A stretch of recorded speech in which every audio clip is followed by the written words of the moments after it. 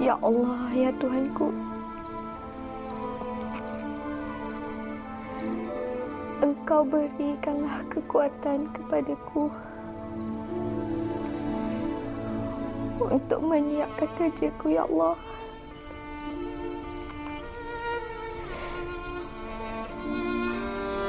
Engkau berikanlah kesihatan baik padaku.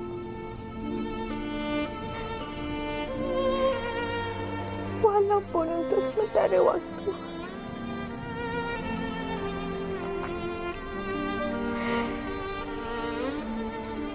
Dan jika merahsiakan keadaan kesihatanku adalah yang terbaik, Engkau berikanlah petunjukmu.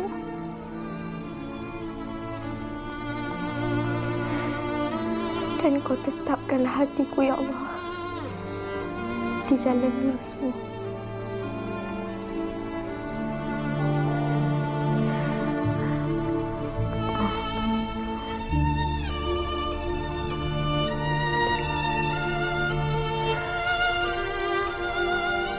Mulai esok, tak akan ada lagi air mata yang akan mengalir.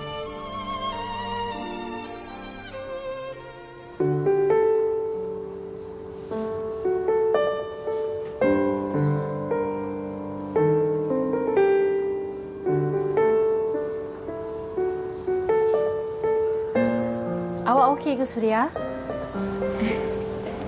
Saya okey. Cuma tak cukup tidur. Dua tiga hari ni banyak pula idea nak menulis. Baguslah macam tu. Tapi saya tetap nak ingatkan awak, saya nak jadi orang pertama yang beli novel awak tu. Okey?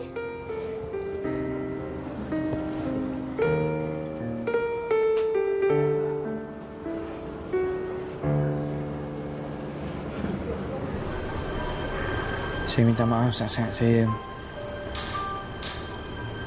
Saya tahu saya banyak buat kesalahan. Saya tahu saya banyak melakukan benda-benda yang menyakitkan hati dan perasaan awak. Saya minta maaf. Sudah saya minta maaf. Banyak-banyak maafkan saya. Tak apalah. Dah lama saya maafkan awak. Biasalah semua orang buat salah. Kita lupakan je lah benda yang dah lepas. Macam senang je awak maafkan saya.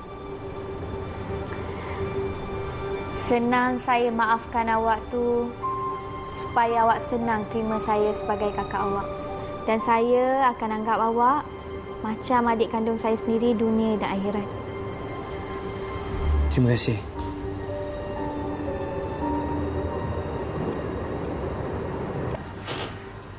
Saya belum boleh lagi terima siapa-siapa pun dalam hati saya. Saya harap awak faham. Kenapa awak perlu tipu diri awak sendiri, Surya? Saya tahu awak rasa apa yang saya rasa. Saya tahu ada cinta dalam hati awak. Awak jangan nak perasan, Huzi. Kalau betul kenapa awak tak bersemuka dengan saya? Awak pandang mata saya kalau awak betul-betul maksudkan.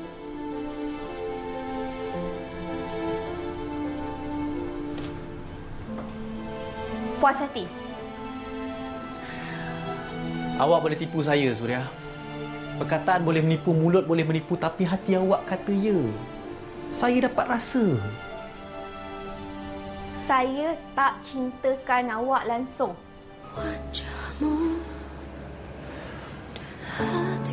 Cinta adalah anugerah daripada Allah, Surya. Boleh datang tanpa diduga.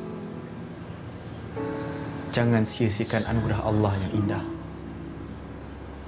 berada di dalam hatiku sejak awal bertemu aku tahu rasa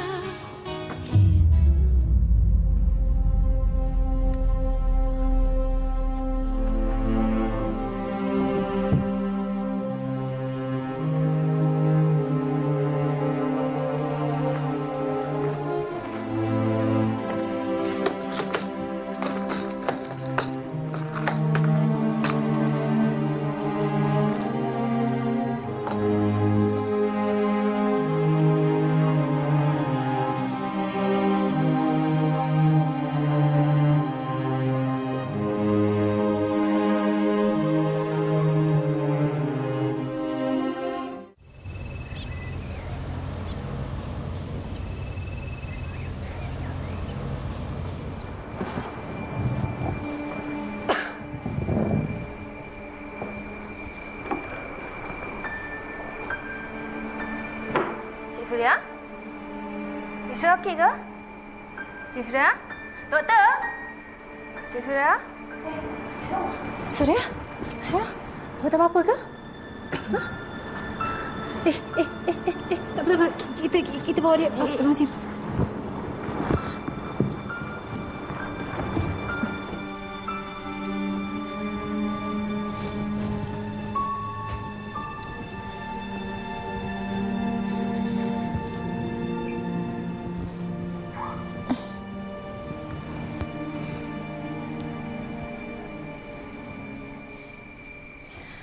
Awak ada rahsiakan apa-apa daripada saya ke, Surya? Tak adalah. Saya cuma banyak kerja je. Sebab saya nak siapkan novel tu. Saya bukan apa. Saya risau kalau ada apa-apa konklusi kepala. Maka kesan daripada hentakan kuat kat kepala awak hari tu. Tak apalah. Doktor janganlah risau. Saya sihat, Alhamdulillah. Awak tak ada rasa pening ke, rasa mual ke? Eh, mual tak ada. Pening sikit-sikit adalah. Hmm, biasalah tu. Pening biasa je. Saya dah tanya dah. Tapi jawapan dia tetap sama. Saya tak apa-apa, doktor. Saya okey. Jadi nak sembunyikan apa lagi sebenarnya ni? Sakit dia lah. Saya tengok sekarang ni dia dah makin lemah. Bukan hari tu pemeriksaan X-ray dia okey kan? Memanglah okey untuk sekian yang pertama. Tapi saya takut sebab ada beberapa pesakit sebelum ni, 2-3 minggu selepas tu baru ada kesan sampingan daripada hentakan tu. Awak cuba pujuk dia buat pemeriksaan doktor lagi. Awak tahu perangai Surya macam mana kan? Dia sekarang ni dia jadi perahsia. Lebih-lebih lagi tentang pribadi dia. Saya risau dengan dia. Dia tu duduk seorang. Nanti apa-apa jadi tak ada siapa tahu ni.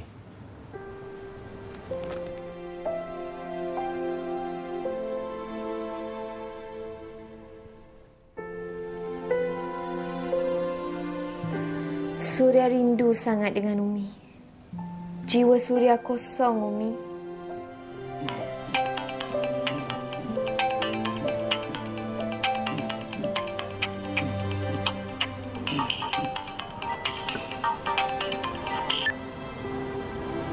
Hello, Kenapa awak nak mengelak daripada jumpa saya? saya nak menulis. Saya ada banyak kerja. Kita jumpa dekat Wadi Razan je lah. Surya, saya tak tahu macam mana nak pujuk awak lagi, Surya. Tolonglah, janganlah ego pada diri awak sendiri. Kalau awak telefon ni nak cakap benda yang sama, saya rasa awak dah tahu jawapannya. Saya banyak kerja. Saya minta maaf.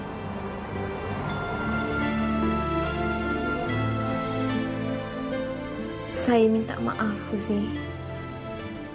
Saya terpaksa lawan dengan perasaan cinta yang saya ada ni.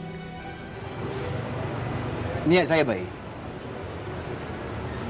Awak ambil berat tentang mak saya. Jaga mak saya. Saya jaga Makcik Salma tu ikhlas. Bukan sebab awak. Sudi tak kalau awak terima kalau saya jadikan awak sebagai teman hidup saya? Sudi tak kalau awak terima saya jadikan awak isteri saya? Saya minta maaf tapi saya tak anggap awak macam tu. Saya anggap awak macam kawan je.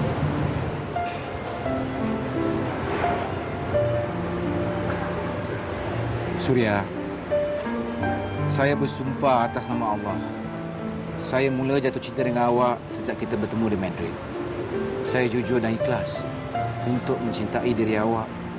Kerana awak telah buka hijab untuk saya melihat kebenaran.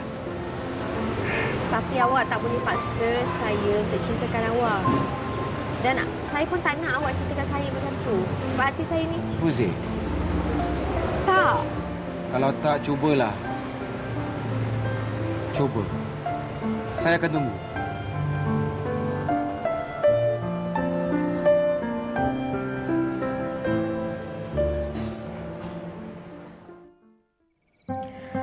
Susahnya tersepit antara dua orang lelaki yang jujur.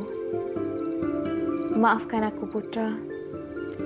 Hati aku memilih Huzi. Namun maafkan aku, Huzi. Kerana keadaan tak mengizinkan aku berkata ya pada dirimu. Tak mampu aku nak melukakan hati kedua orang lelaki yang sangat istimewa dalam hidupku. Ya Allah, berikanlah petunjuk pada hamba-Mu ini. dalam ketidaktahuanku Akhirnya aku akan ke Cordoba. Tapi Umi, Surya pergi sendiri tanpa orang yang Surya sayangi. Tapi yang pasti, Surya membawa kasih sayang Umi dan Walid ke sana. InsyaAllah. pernah kau curi dariku dulu kau tawarkan Saya ingin ke Cordoba untuk menghabiskan novel Surya di Cordoba. Doktor jangan tanya kenapa saya tak pergi bersama orang yang saya sayangi seperti yang saya inginkan. Dan satu lagi, saya minta doktor rahsiakan pemergian saya dari Huzair dan Putra. Terima kasih doktor kerana doktor sudi menjadi teman yang setia kala susah dan senang saya. Semoga Allah merahmati kehidupan kita. Amin. Kasih sayang dari saya. Surya.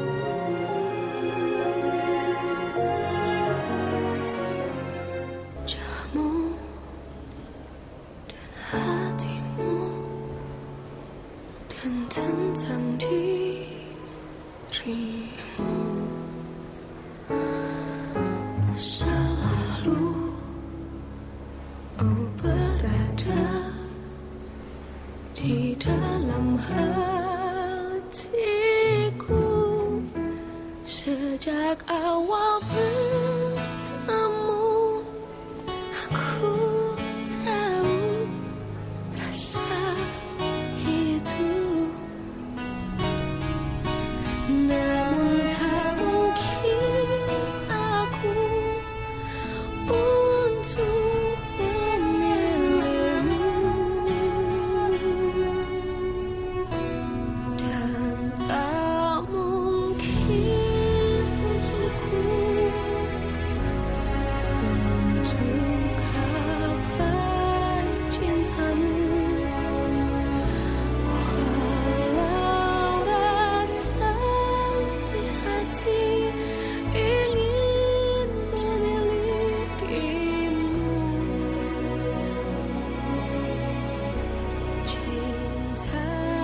Hari ini aku sampai di Cordoba.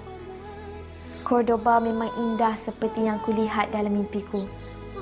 Dan Cordoba menyambut aku dengan segala kemegahan sejarahnya. aku tahu